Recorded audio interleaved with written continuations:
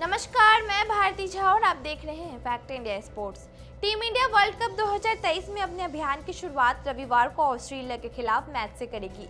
यह मुकाबला चेन्नई में खेला जाएगा।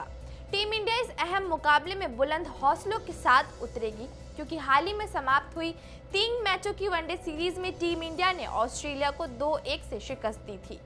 टीम इंडिया ने सीरीज़ के पहले दो मैचों में जीत हासिल की थी। यह कमाल टीम इंडिया ने तब किया जब रोहित शर्मा और विराट कोहली जैसे दिग्गज नहीं थे। उन्होंने शुरुआती दो मैचों के लिए आराम दिया गया था। के राहुल टीम की कप्तान थे। हालाँकि अब तक नया टूर्नामेंट है और टीम इंडिया तरोताजा होकर मैदान पर उतरेगी। इस मुकाबले के लिए कप्तान रोहित शर्मा की सबसे बड़ी टेंशन ये होगी कि वो प्लेइंग 11 में किन खिलाड़ियों को जगह दे और किसे बाहर रखे।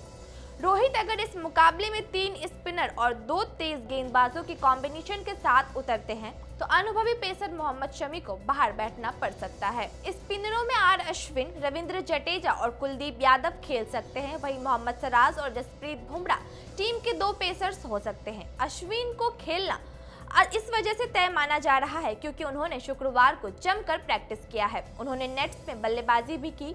इसके अलावा डेविड वार्नर और स्टीव स्मिथ के खिलाफ उनका रिकॉर्ड भी शानदार रहा है। इस मुकाबले से पहले कुलदीप रोहित की टेंशन ज़रूर बढ़ा रहे होंगे।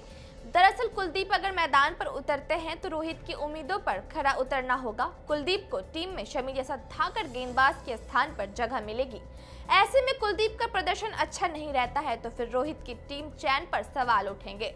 सवाल पूछा जाएगा कि शमी जैसे गेंदबाज को आपने टीम से बाहर क्यों रखा? वहीं कुलदीप यादव को अगर टीम में नहीं शामिल किया जाता है, तब भी रोहित से सवाल दागे जाएँगे। क्योंकि कुलदीप ने हालिया मैचों में दमदार प्रदर्शन किया है। कुलदीप ने एशिया कप में नौ विकेट चटकाए थे। वो मैन ऑफ़ द सीरीज़ थे। गेंदबाजी नहीं, बल्लेबाजी भी लेकर रोहित ने जहन में कई तरह के सवाल आ रहे होंगे। श्रेयस अय्यर या सूर्य कुमार यादव में किसे मौका दिया जाए?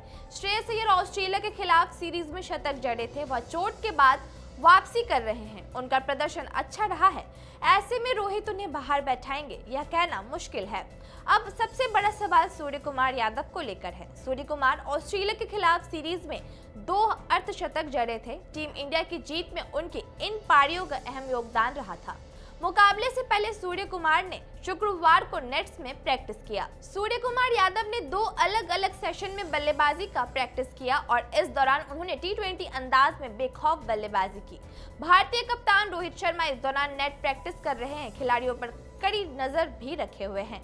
सूर्य कुमार ने नेट सत्र पर अपने टी प्रारूप के शॉट्स पर ध्यान दिया। व कलाई की मदद से स्क्वायर के क्षेत्र में शॉट लगाने के साथ बाएँ हाथ के थ्रो डाउन एक्सपर्ट नुवान की गेंदों पर सुपला शॉट भी खेलते दिखे। वह एक नेट पर अपना सत्र पूरा करने के बाद दूसरे नेट पर अभ्यास करने लगे। यह हो सकती है टीम इंडिया की playing eleven Rohit Sharma, Ishan Kishan, Virat Kohli, K Rahul, Shreyas Iyer Surya Kumar Yadav, Hardik Pandya, Ravindra Jadeja, R Ashwin, Kuldeep Yadav, Siraj और बुमराह। और भी स्पोर्ट्स से जुड़ी अपडेट के लिए देखते रहिए फैक्ट इंडिया स्पोर्ट्स